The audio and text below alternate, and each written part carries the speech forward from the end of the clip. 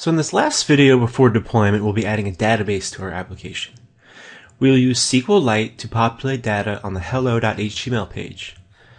Now if you're used to working with databases already, you should have no problem following this tutorial.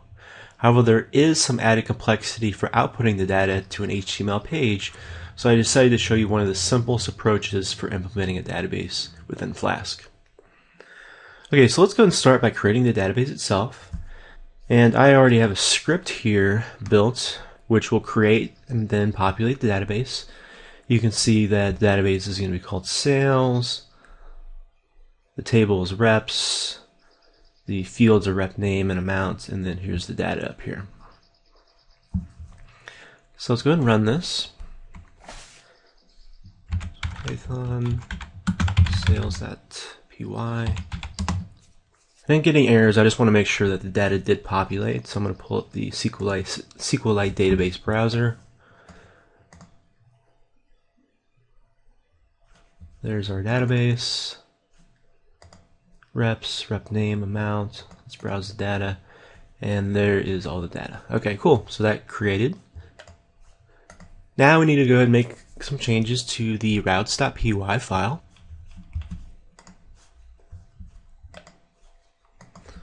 So first I'm going to import the SQLite library.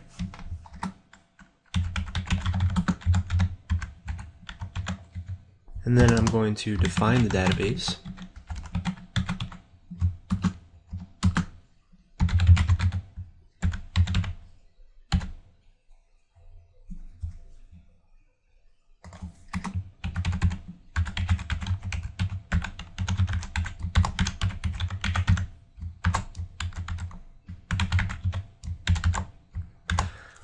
So this from object looks at the configuration information, which for now is just the database, and imports the variables into the application. So it's a good idea to use a separate file to store your configuration information, and you can store the database, you can also store the secret key, you could store any um, usernames or passwords that you're using. So it's just a good idea to keep that away from your application just for security purposes. Okay, next we're going to create a function that allows us to easily connect to the database. Find connect db.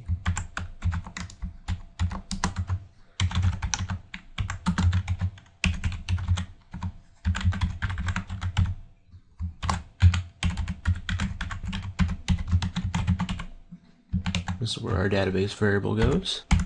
So now we're going to actually execute the SQL commands within the hello function itself. So let's scroll down here. First we need to connect to the database.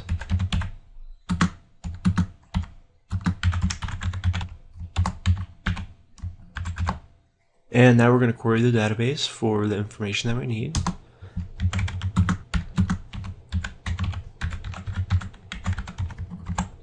To select rep name and amount from sales. And then we want to return the data to a dictionary, which will be assigned to the variable name sales. So sales equals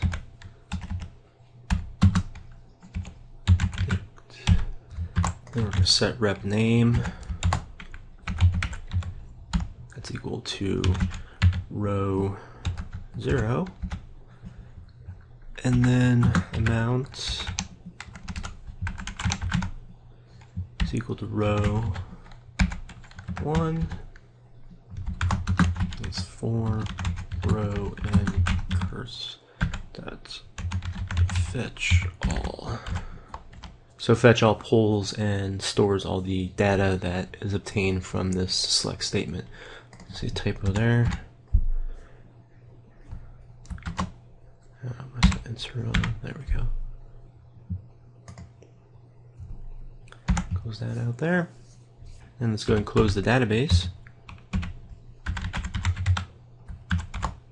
And now we need to pass the variable sales to hello.html. Alright, so that is it for the routes.py file. And now we need to make some changes to the hello file. Just for time's sake, I'm going to go ahead and copy and paste this over. I'm going to go ahead and overwrite all this here. So basically what I did is I moved the logout link up a little bit. So now we have a title that says sales data region 1. And then you can see here we have um, what looks like is very similar to a for loop in Python. So for item and names, and should actually be sales. That's right. Okay. Okay, got a little confused there.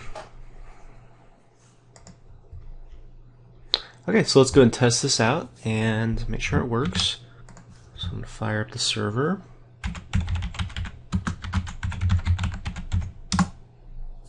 And we're getting the syntax error, routes line 15. Let's see what that's about. Okay, I didn't close this out. Okay. Let's try this one more time. Okay, it's running. So let me go ahead and log in. And okay, getting another error. Let's see what this is. No such table sales. Ah, okay, that's because I called the table reps, I believe. Yeah, it's sales.db and the table is reps. So let me go in here and change that. So select a name from reps. Okay.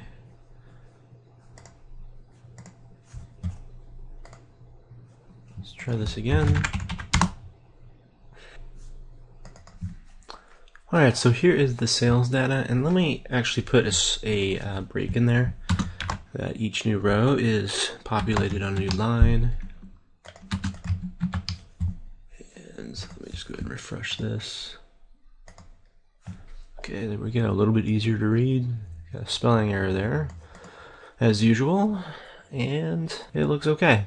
Not perfect, but it looks good. So, as I said before, this is just obviously a very simple way of implement, implementing a database within SQLite. You can read some of the changes that I would make in the online tutorial found again at Real Python for the web and that link is just in this video's description. Okay, so next time I'll be showing you how to deploy this application to the web. Thanks for watching.